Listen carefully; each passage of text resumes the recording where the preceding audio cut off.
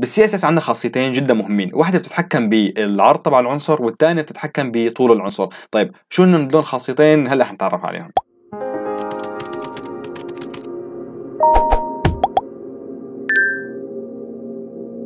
ميت أهلا وسهلين. الخاصيتين اللي كنا عم نحكي عنهم هن ال width وال height. ال width هو اللي بيتحكم بعرض العنصر وال height هو آه اللي بيتحكم بطول العنصر. فحتى نجرب هذا الموضوع ونفهم الموضوع أكثر آه أنا جهزت عندي code HTML عبارة عن ثلاث div ات كل div في بقلبه paragraph وكل paragraph بقلبه نص عشوائي اللي هو ال lorem. وطبعا كل واحد من بيناتهم أنا عاطي class A B C. طبعا حنجرب عليهم كلياتهم. خلينا نحن نبلش بأول div. آه بس قبل خلينا نعمل collapse لهدول خلينا نحن نشتغل هون كل شغلنا. حنروح لعند ال style. وقبل نروح عند ال style دقيقه نحن خلينا نشوف الشكل كيف طالع هون عنا. مجرد عبارة عن آه، كل نص طالع هيك لحاله. تمام؟ ما في عنا أي style محطوط لحد الآن.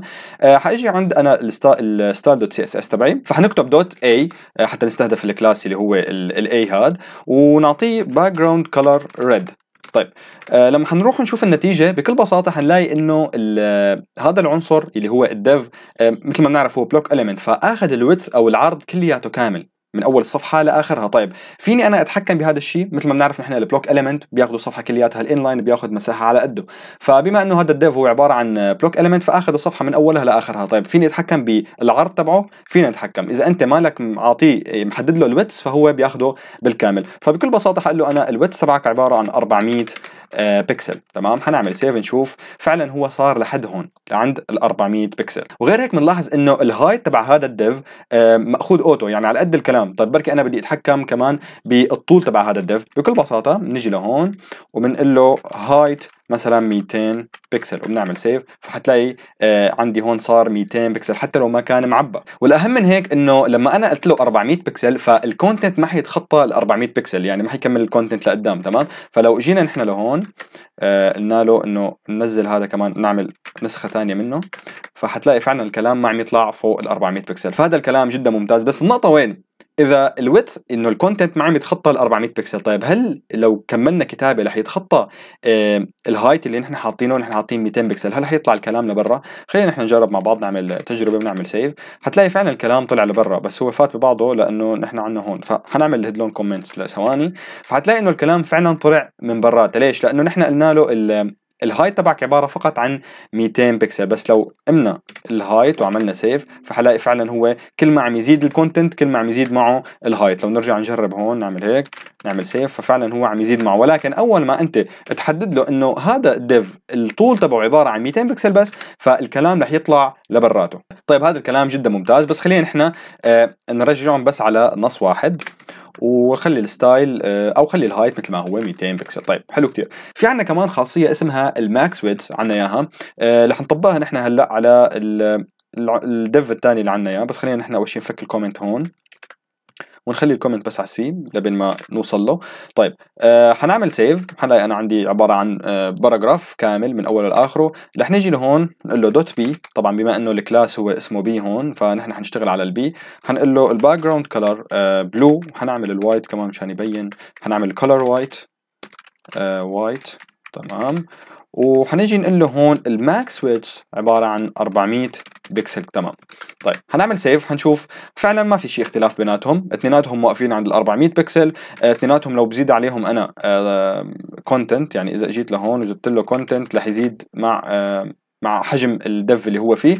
ولكن النقطة وين؟ الاختلاف الجوهري هو مع اختلاف آه ال width أو العرض تبع صفحة الويب. هون رح يبين معنا نقطة جدا مهمة. رح يبين معنا الفرق ما بين ال width وال max-width طبعا بال max-width نحن عم نقول له إنه آخر عرض بتحسن توصل له هو الرقم اللي حطيناه. فنحن قلنا له إنه 400 بكسل. هذا أكثر من هيك ما فيه أي content جواته ما حيطلع فوق 400 بكسل.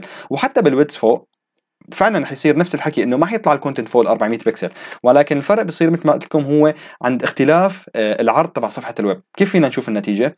رح نعمل click يمين ونروح على ال inspect element آه، حتلاقوا نحن لو لما نعمل هيك في فوق عنا على الزاوية عم يختلف رقم بالبكسل. هلأ هو 556 هلأ 546 هذا هو عرض صفحة الويب عنا تمام؟ طيب بما إنه إحنا حاطينهم هدلون ال div الأحمر والأزرق بال 400 بكسل فخلونا نحن نوصل لعند ال 400 بكسل ونشوف شو حيصير معنا. أصغر من 400 بكسل هون ها. لما صار ب 300 شوف شو عم يصير. لاحظوا بين ال div اللي فوق وال div اللي تحت. ال div اللي فوق ال width بما إنه نحن قلنا له width 400 ف ضل محافظ على العرض. آه، ما اهتم إنه يخلي لك اياه responsive يخلي لك اياه يعني يضل قدامك. فحتلاقي طلع لك شو؟ طلع لك من تحت شريط إنه مشان تشوفه. ولكن الماك ثريدز عمل لك إنه كمان حدد لك إنه ال content ما بصير يطلع فوق ال 400 بكسل. وغير هيك صار يغير لك بال height يعني شوفوا صار يزيد ال height هو. شوفوا الأزرق كيف. عم يزيد ال height على حساب شو؟ على حساب إنه يخلي لك ال content قدامك بطريقة مرتبة. تمام؟ أما لما تقول له أنت width 400 بكسل فهو ثبت ال width تبع ال div تمام؟ شايفين كيف مثبته بغض النظر إذا ال width تبع صفحة الويب صغر ولا كبر ما عنده أي مشكلة. هو خلص بضل واقف على 400 بكسل. بدك تشوف ال content بتنزل باللي تحت هذا الشريط. أما ال max-width بيعمل لك نفس الوظيفة بيقول لك أنا ما حخلي لك ال content يطلع برات ال 400 بس بنفس الوقت لو صغرت صفحة الويب رح خلي لك ال content قدامك ورح رتب لك إياه أنا لحالي. فشايفين كيف هو؟ عم يرتب لنا ال content لحاله. فهذا هو الفرق ما بين ال width وال max width طيب في عندنا خاصية هي عكس ال max width اسمها ال min width شو بنقصد بال min width يعني هي minimum width وطريقة شغلها اللي هي ال minimum width إنه لو أنا عندي ال div مثلا إحنا هون عم نشتغل على ال div لو أنا قلت له ال minimum width تبعي هو عبارة عن 200 بكسل اللي بقصد فيه إنه لو ال content اللي عندي أقل من 200 بكسل ما وصل لل 200 بكسل فاعرض لي ال div على 200 بكسل. طيب لو زاد ال content فوق ال 200 بكسل شو بعمل؟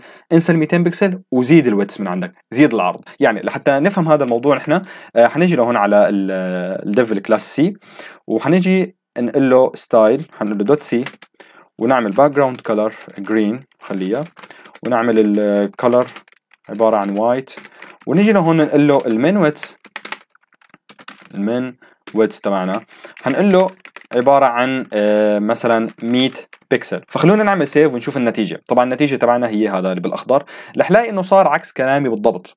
إنه أنا قلت له لو أنا قلت له ال min width هو عبارة عن 100 آه، بكسل فمعناها لو ال content اللي عندي أقل من 100 بكسل ضل عم تعرض لي ب 100 بكسل لو ال content عندي فوق ال 100 بكسل عرض لي على قد ال content بس هو ما عرض على قد ال content هو فعليا ال content اللي عندنا هو فوق ال 100 بكسل تمام؟ بس اللي صار هو المفروض يكون الأخضر لهون بس لحد الكلمة إلت. ولكن هو كمل للأخير. ليش؟ المشكلة هون إنه بما إنه هذا block element فما حيزبط معه هذا الكلام. ال min width ما حيزبط معه. نحن بحاجة إنه نعمل هيك تعديل صغير على ال width لحتى يقبل الكلام هذا. فبكل بساطة حنيجي هون على ال min width ونقول له ال width تبعك هو fit content تمام؟ فحنعمل save ونشوف النتيجة وفعلا إنه صار ال div هو فقط على قد الكلام. طيب ليش على قد الكلام؟ لأنه فعليا الكلام اللي كاتبينه إحنا هون فوق ال 100 بكسل طيب كيف رح يكون منظره إذا كان ال content اللي عندنا أقل من 100 بكسل لأنه حكينا إذا كان أقل من 100 بكسل رح يضل عارض لي على 100 بكسل حتى لو كان الكلام اللي بقلبه قليل. فحنيجي لهون عند ال index ومثلا نشيل هذا الكلام كله وحنعمل save رح الاقي فعلا هو عرض لي فقط على قد ال 100 بكسل شايفين؟ حتى لما إنه الكلام هو أقل من ال 100 بكسل تمام؟ الكلام أقل من 100 بكسل فضل عرض لي على ال 100 بكسل. لو زاد الكلام رح يطلع فوق ال 100 بكسل فلو نرجع آه، الكلام هذا.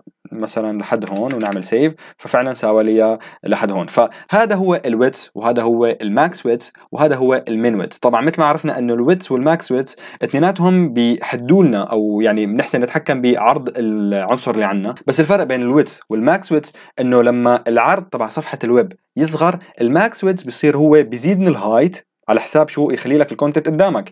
أما ال width لما نقول له خلص ال width 400 بكسل فحيضل 400 بكسل. حتى لو صغرت الشاشة وكبرت رح تلاقي يطلع لك شريط من تحت مشان أنت تروح وتجي آه لعند ال content وتشوفه. وكمان لا ننسى شغلة جدا مهمة إنه لما يكون عندنا عنصر مثل ال div مثلا وكاتبين بقلبه content وهذا ال content كل ما عم يكتر كل ما عم لحاله يطول ال height يعني عم يطول العنصر. ولكن لما أنا أقول له إنه ال height هو عبارة عن 200 بكسل وهذا العنصر يضطر إنه يكتب يعني يوصل لفوق ال 200 pixel بال height فرح تلاقي هو طلع من برات البكسل اللي انت عاطيه طلع من برات ال 200 height وبلش عم يكتب لتحت مثل ما صار معنا بأول مثال آه، ساويناه. وهذا هو الدرس بكل بساطة وإن شاء الله يكون هيك عجبكم آه، لو عندكم أي سؤال اكتبوا لي إياه ولو عندكم أي شيء حابين تشاركوه تاخذوا رأيي فيه آه، من كود أو من شيء عم تشتغلوه اكتبوه. أو نزلوا الكود أو نزلوا النتائج عندي على group الفيسبوك وبنشوف شو عم تشتغلوا. وبشوفكم الدروس الجاي. سلام.